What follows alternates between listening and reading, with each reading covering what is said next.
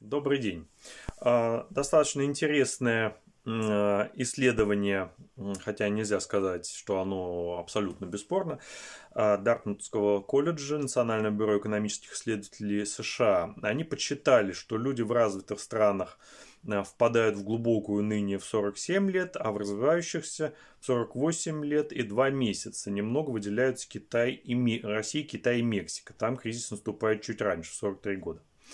А, то есть хуже всего а, человек чувствует себя в самом таком унынии, несчастье, он пребывает вот в 47-48 лет.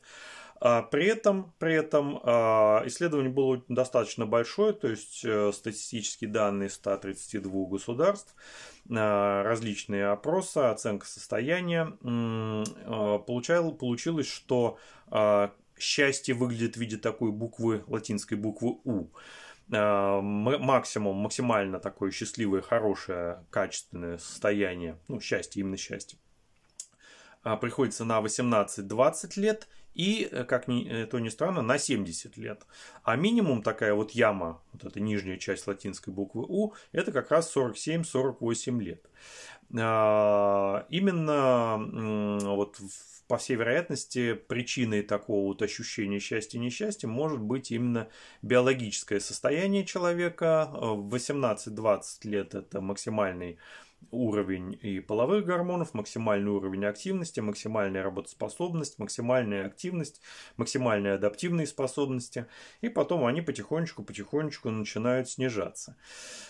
А, к 40 годам это уже ощутимо, к 50 годам а, происходит вот резкий такой обрыв, и все становится уже совсем-совсем совсем плохо. Причем э, вот эта вот кривая с счастьем в молодости и в э, возрасте, который ближе уже к старческому, э, он характерен вне зависимости от региона, э, финансового положения страны, э, пола, менталитета, семейного положения и так далее. То есть, похоже, это все упирается чисто в, меди... чисто в биологические э, причины, по крайней мере, по мнению авторов исследования.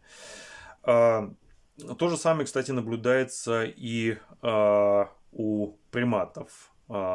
500 а, пять сотен шимпанзе и орангутанов, живущих в заповедниках, показали приблизительно такую же динамику. Правда, не знаю, как обезьяны рассказали о своем счастье или несчастье, но, видимо, существуют методики оценки.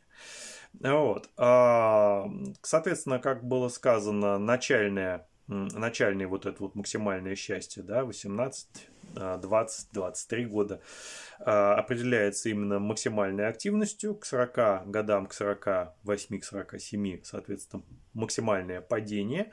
Дальше падение в плане чистой физики продолжается, но если в 40, 48, 49, 50 лет перед человеком все равно стоят все его задачи, собственно говоря, на нем вообще все лежит, то есть это, как правило, еще и а, значительные семейные обязанности, и рабочие обязанности, и карьера, которая, скорее всего, либо уже удалась, либо не удалась, понятно, что у большинства не удалась, ну, не могут все быть начальниками. Вот. И, соответственно, вот это вот вызывает такое вот э, несчастное состояние. Потом при отходе от активной деятельности, когда уже, собственно, желания и влечений нету, да, нету и сил на их достижение, но, собственно, вот такое своеобразное стариковское величие. И потребностей нету, и влечений нету, и, собственно, ничего и не надо, можно довольствоваться малым. Вот. Видимо, а, происходит такое определенное смирение со своей а, старостью, с более спокойное восприятие того, что раньше вызывало а, ярко выраженный дискомфорт, и человек чувствует себя лучше, чем в более молодом и более все-таки активном возрасте, ну, по сравнению со старостью.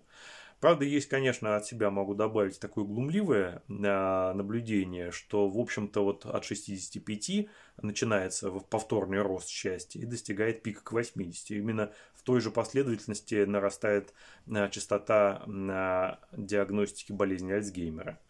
Ну, вот, так что, может быть, тут тоже есть какая-то корреляция.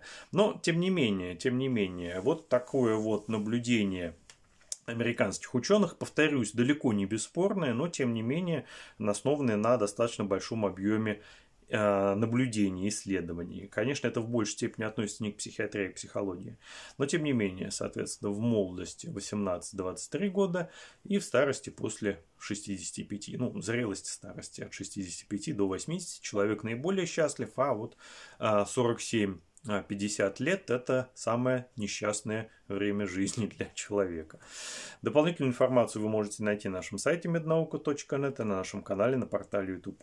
Всего вам хорошего. До свидания.